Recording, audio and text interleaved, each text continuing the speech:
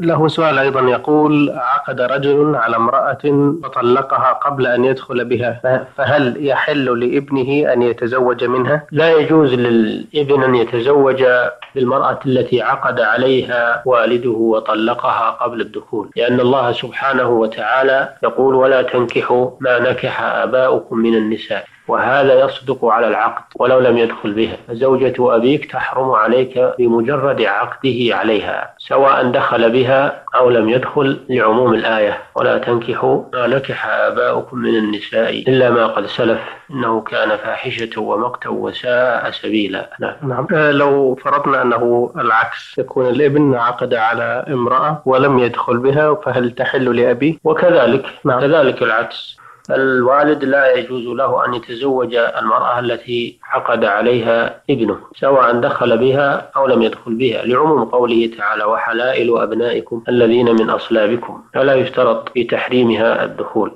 نعم.